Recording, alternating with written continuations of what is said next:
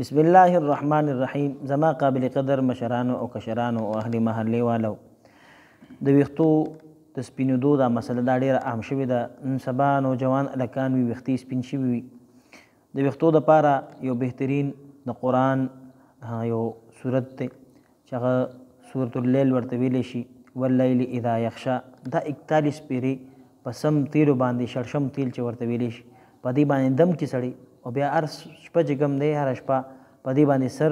غوړی مالش کوي دی او بیا سحر دی وینځي ان شاء الله رب نو می ساتم دا وخته به په تورېدو باندې راشي او که سپین وي نو سپینېدل به ودرېږي ان شاء الله دلته به سټاپ شي الله تعالی دې موږ ته په دې باندې عمل کولو بل ته د رسولو توفیق راکړي